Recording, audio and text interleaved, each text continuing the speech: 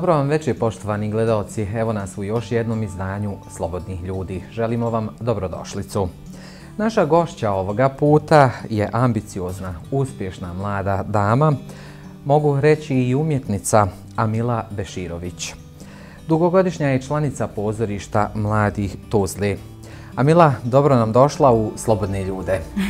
dobro, hvala vam na pozivu i hvala što ste tu uz nas sve ove godine.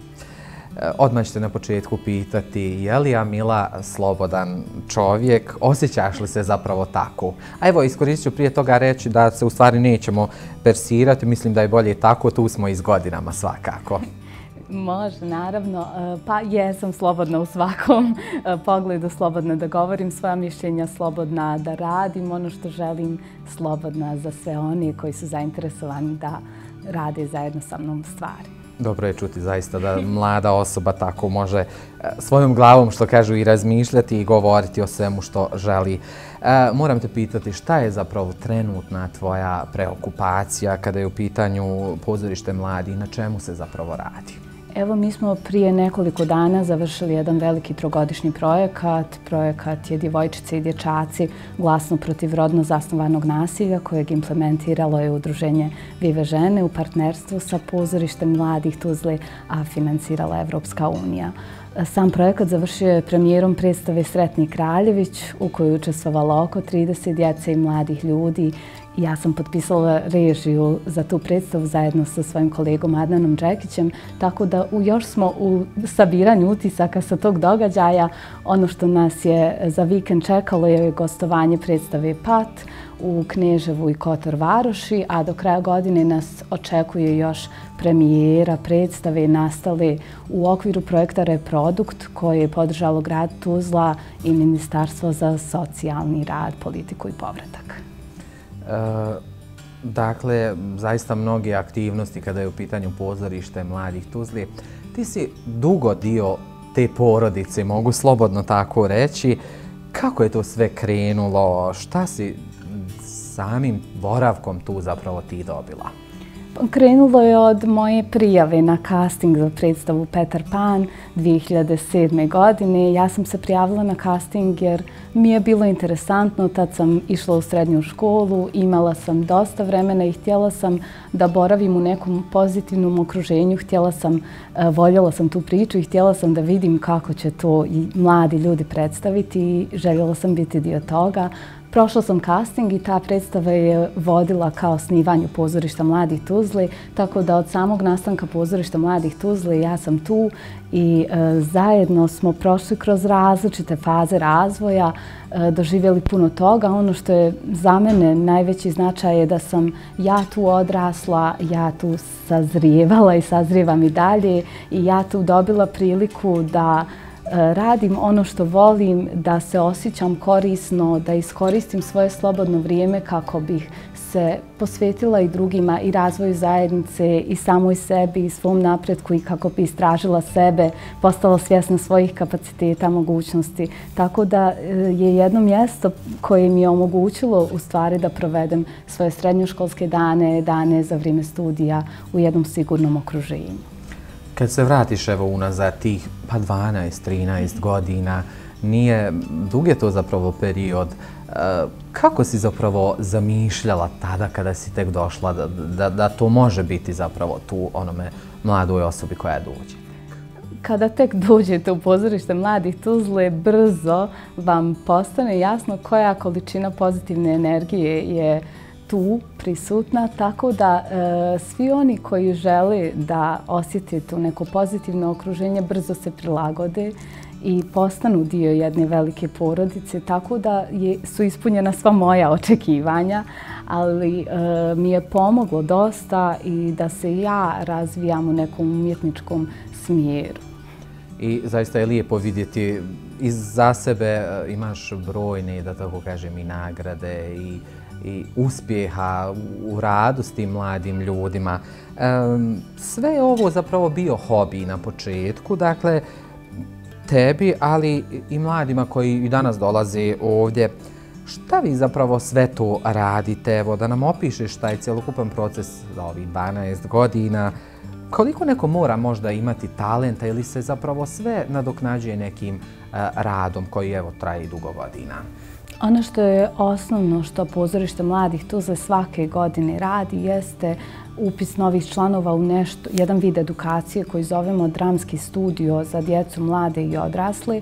Mi tu nemamo nikakvog castinga i audicije zato što želimo da jedan takav vid edukacije bude dostupan svoj djeci i mladim ljudima iz grada Tuzle, a iz sredina okolo.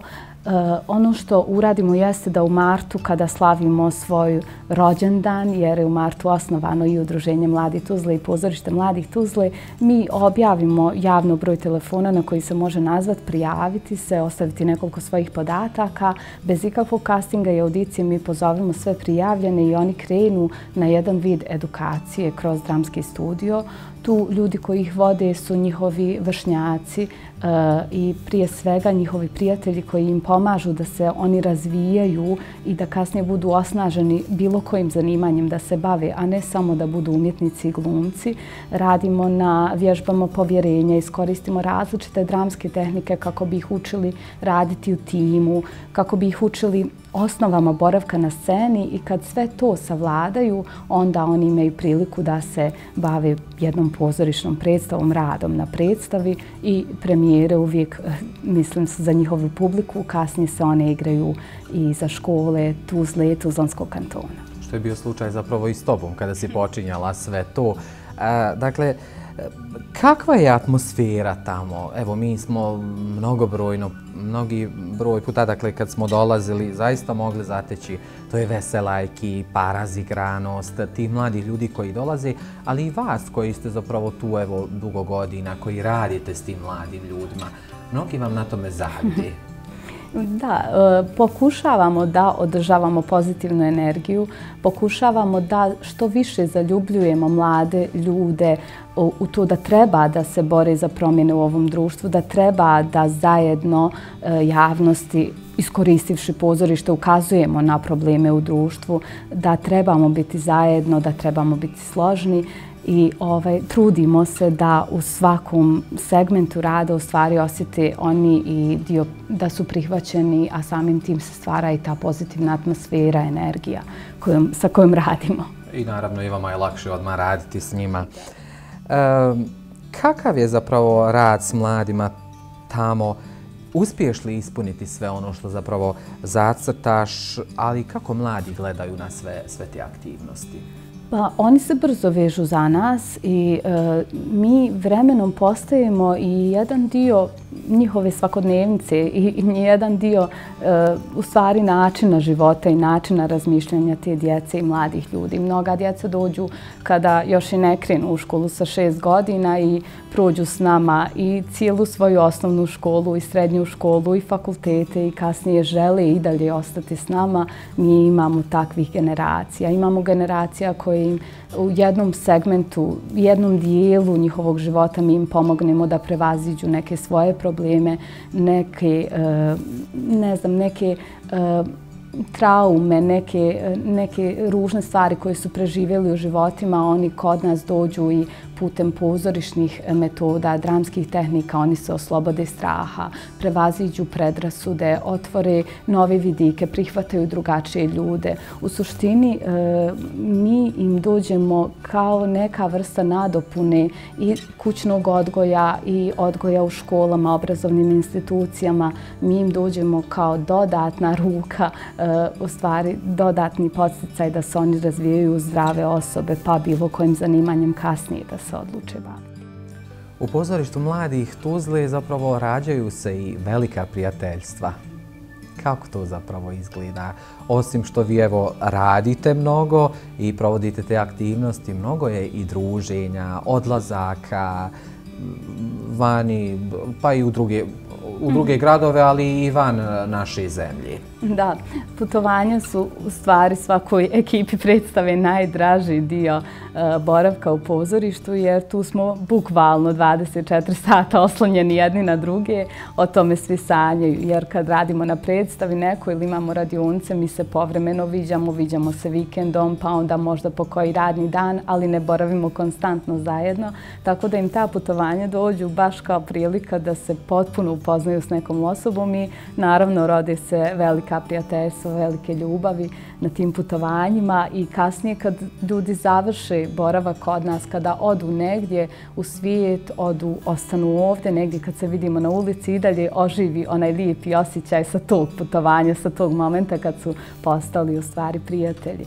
E, mislim da je pozorište tako, mi ga pravimo takvim da se e, trebamo i moramo osloniti jedni na druge, vjerovati jedni drugima i jedino tako nas čeka neki uspjeh dolazak do zacrtanog cilja.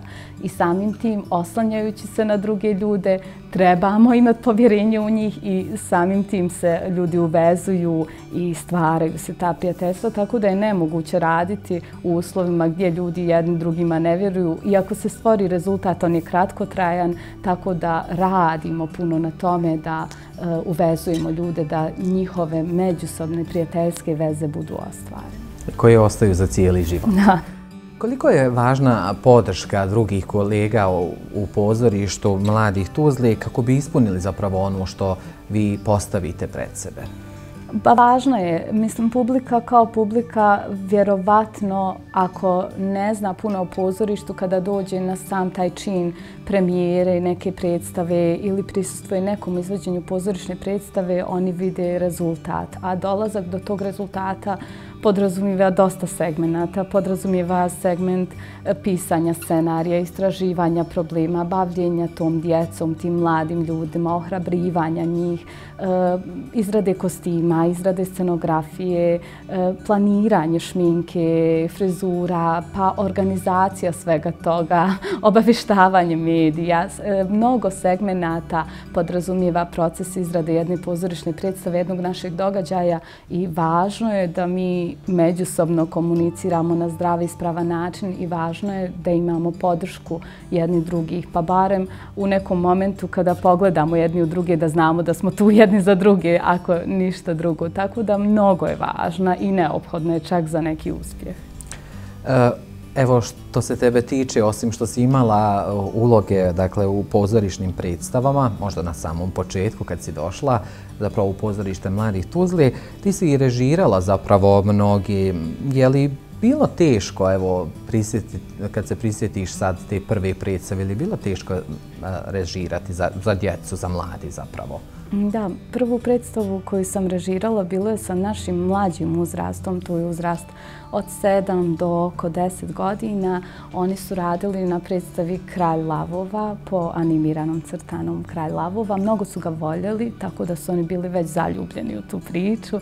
Ali dok sam e, režirala, bilo mi je, e, naravno javljale su se dileme da li je nešto ispravno ili ne. Dosta sam čitala, dosta istraživala, imala podršku naravno od ljudi koji su u našem pozorištu već ranije režirali određene predstave, tako da je i tu ta podrška bila važna.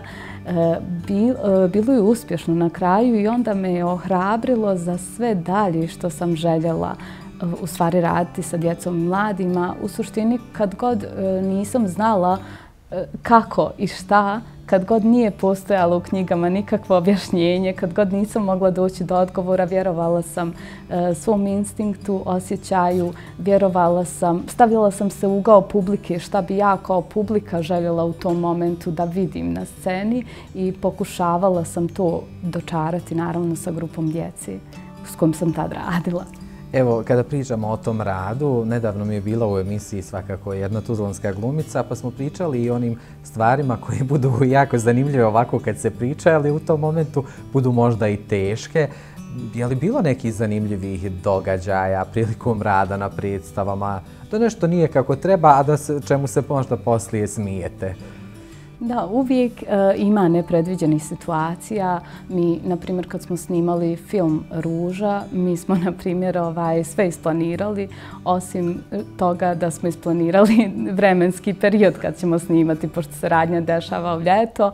Na primjer, mi smo imali scenu gdje ona treba samo da proturi ruku i da se prozora uzme ružu, ali dok smo mi postavili kamere i osvjetljenje i sve, kad sam pružila ruku kao da uzmem ružu, ruža je već bila zaleđena i zalijepila se za onaj e, od prozora dio, jer je napolju bio mraz, bilo je pred novu godinu. Tako da, ali uvijek pokušavamo nekim dijelom da se E, izvučemo iz situacije da u tom momentu timski reagujemo kako bismo spasili ono što je zacrtan cilj. Bilo je naravno svaka predstava i svaka ekipa ima svoju priču, svoje anegdote koje se dešavaju. Toga je na bezbroj priča i naravno opet svaka priča koja se desi iz ugla druge osobe je drugačije viđenje te priče. Tako da je beskrajno zanimljiv proces, ali je potrebno za svakog ko se odluči baviti, pa bilo ulogi, ulozi glumca, režisera, okolo e, produkcije predstave, važno je da e, se bude spreman na e, da se u trenutku reaguje na neku vrstu e, improvizacije kada najđe problem, na spremnost da se prihvati da je to se desilo i da se ne paniči, nego da se krene dalje e, smišljajući kako riješiti tu situaciju, a ne odustajati. Jer kad se krene u proces rada na predstavi, jednostavno se ne smije odustati. Što god da se desi, ne smije se odustati. Dobro. E, šta kazati mladima? Evo, šta ih zapravo očekuje u pozorištu mladih Tuzli? Onima koji bi se tek htjeli zapravo uključiti. E, prije svega očekuje ih jedan proces u kojem ne može sve doći od danas do sutra. Nemoguće je napraviti rezultat brzo. Potrebno je da prije svega prihvate da trebaju sebe malo istražiti, Naravno, sve se radi timski, sve se radi zajedno. Nema nikakvog izlaganja javnosti dok grupa ne osjeti da je spremna izaći u javnost. I tu na početku pravimo javne časove gdje djeca kao grupa izlaze u javnost. Znači, ni, nema pritiska, nema stresa, ali je e, potrebno da djeca budu svjesna da žele malo istražiti o sebi, žele malo istražiti o svojim vršnjacima, drugarima, drugaricama, o stanju u, ko, u, u gradu gdje žive, gdje borave, da su spremni da nauče dosta toga, a ne da konstantno imaju isto viđenje na svijet. I nakon toga ovaj, čeka ih beskrajno zanimljiv proces proba gdje e, svi iskoriste svoje kapacitete, svoje mogućnosti da bi dali doprinos u nastajanju jedne pozorišne predstave, a onda naravno najzanimljiviji dio za sve, to su putovanja, gostovanja, igranja za njihove vršnjake, njihove škole, profesore, nastavnike. Lijepo je zaista slušati sve ovo što ti govoriš i ono što zapravo očekuje mladi kada dođu u pozorište mladih Tuzli. A ti si za ovaj svoj rad dobijala i brojne nagrade, dakle, za rad sa mladim ljudima. Pa evo, prije svega, nedavno si dobila nagradu za doprinos razvoju dramskog odgoja u Bosni i Hercegovini. Šta zapravo takva i, i takve nagrade zapravo predstavljaju za tebe? Za mene predstavljaju veliki vjetar u leđa, da radim dalje, da napredujem dalje. Mnogo mi je značilo e, ta vijest da sam dobila tu nagradu, to priznanje od Centra za dramski odgoj Bosne i Hercegovine prije svega jer mislim da ovaj nije bilo uzalud što sam sve ove godine vjerovala da treba ulagati u dramski odgoj. Ja ne, ne sumnjam ja da to puno utječe na djecu i mlade ljude i da je to neophodno i potrebno u današnjem društvu, ali je lijepo kada neko sa strane primijeti to sve i kada vam kaže barem jednim papirom, barem jednom vješću da, da on vjeruje da radite ispravne stvari i da uh, vjeruje da treba da se nastavi tako. Tako da mi je dalo veliki vjetar u leđa. E, ja se osjećam još poletnije da se bavim sa još više djece, još više mladih ljude, da obrađujemo što više problema koji se nalaze oko nas kroz dramu i dramske tehnike, tako da e, je lijepo osjećaj u svakom pogledu. Svakako čestitke i od nas još jedan put što se toga tiče. Ja sad predlažim da napravimo kratku pauzu pa ćemo nastaviti razgovor. Može.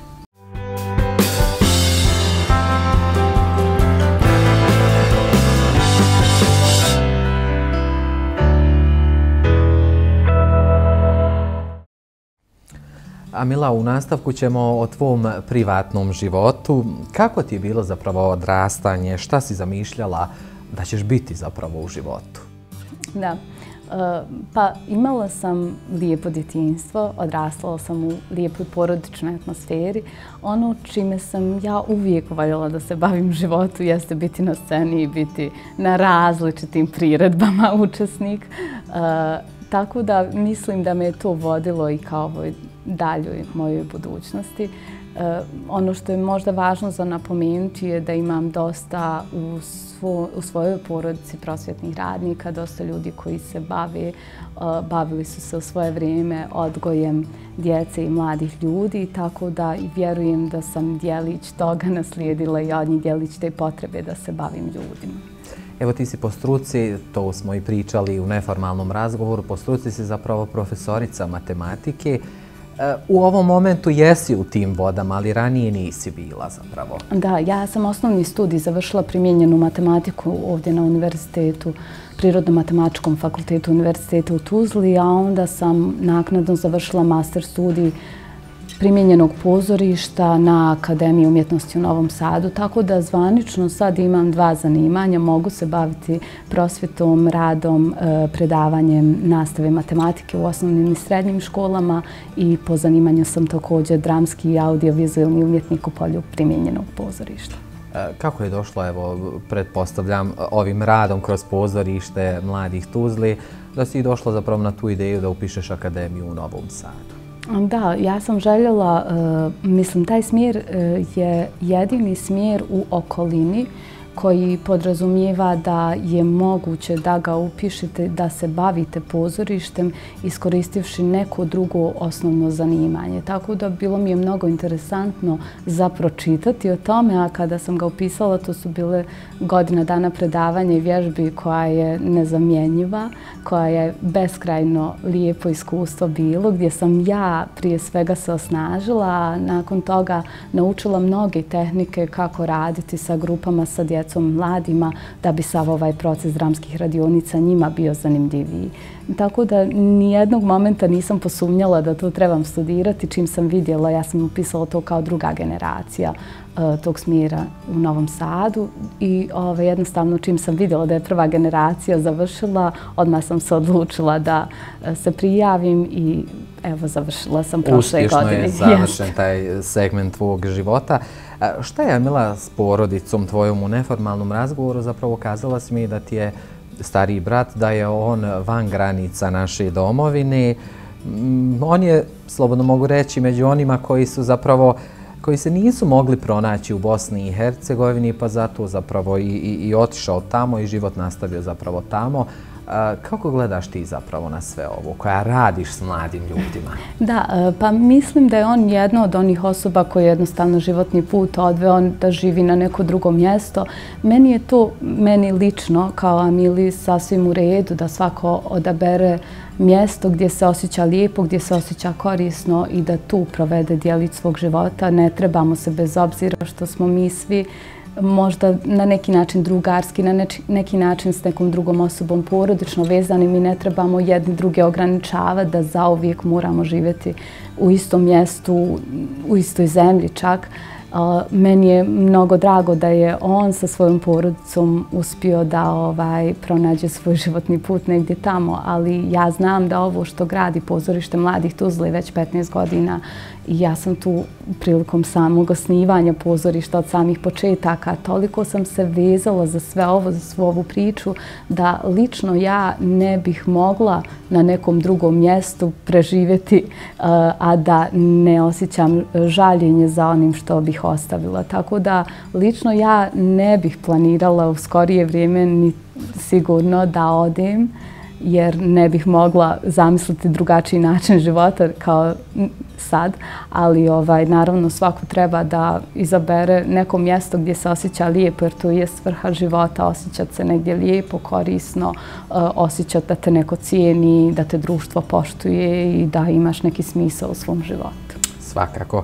A, koliko ste, evo, kada njega spominjemo, koliko ste povezani vas dvoje? Imate li vremena možda za razgovor, ba telefonske, evo, iako ste odvojeni? A da, internet sad omogućava različite vrste komunikacije i kontakata. Ovaj, prije svega povezani smo, naravno, porodično, čujemo se onoliko koliko svi uspjevamo od svojih obaveza. Još više smo povezani jer sam od prošle godine postala i tetka, tako da sada imam jednu malu djevojčicu negdje tamo daleko koja, s kojom se dopisujemo, čujemo i zbog tog smo još malo više povezani. Pa super. E, imaš li vremena ti zapravo za privatne stvari? E, evo, pa, o, pa i odmor zapravo zabavu, kako to mladi čine? Ili si ti, kao što si u pozorištu mladi Tuzli, na neki način nadzor mladima zapravo koji budu, evo, konkretno u pozorištu mladi?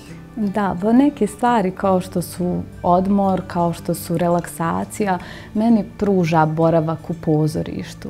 U suštini, e, ono što tamo preživite za vrijeme proba, za vrijeme radionica, je neka vrsta odlaska iz ovog realnog svijeta svakodnevnih problema i odlazak na neko sigurno mjesto gdje možete se potpuno relaksirati i opustiti. Tako da većinu vremena ja svog slobodnog e, sam u pozorištu mladih Tuzli na različitim aktivnostima, u različitim ulogama.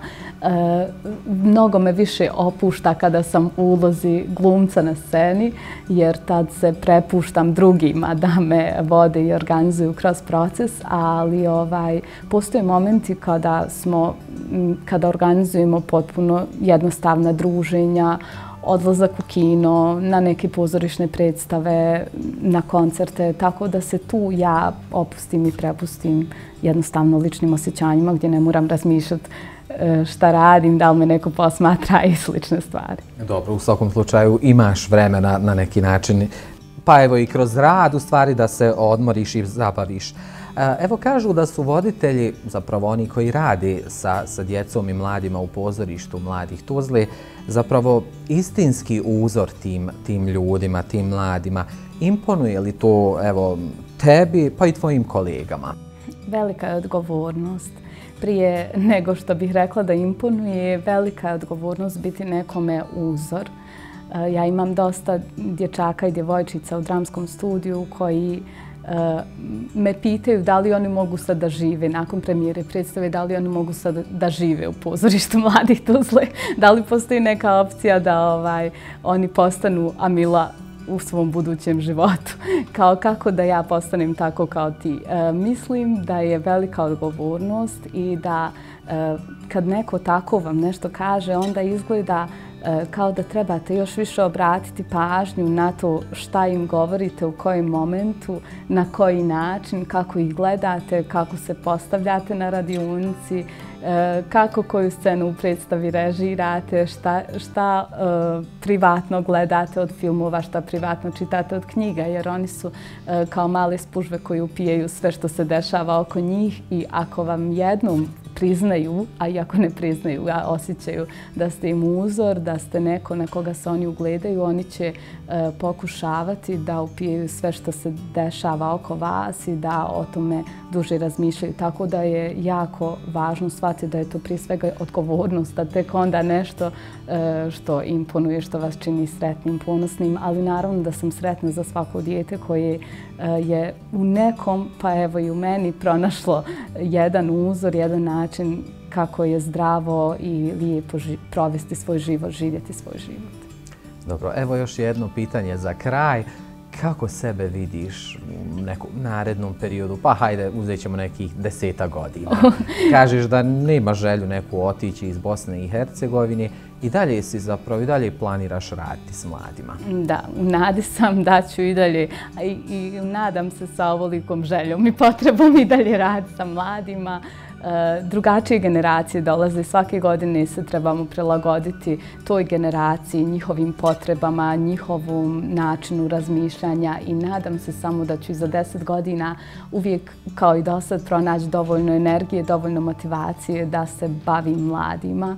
E, voljela bih bih naravno što više ostati u umjetnosti, što više ostati u pozorištu mladih Tuzla i dalje nemam nikakva prevelika očekivanja jer mislim da ako imamo prevelika očekivanja možemo se više i razočarati. A deset godina je baš veliki period. Dobro, ti zaista skromna djevojka, evo, ovaj, a drago mi je bilo slušati sve ovo što si nam pričala zapravo i o tom radu s mladim ljudima i o tvom generalno radu i početcima i evo do danas sve ono što si prošla.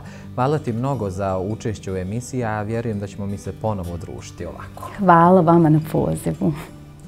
Poštovani gledalci, hvala i vama što ste bili i uz ovu emisiju Slobodni ljudi. Ostanite dalje uz program Televizije Slon.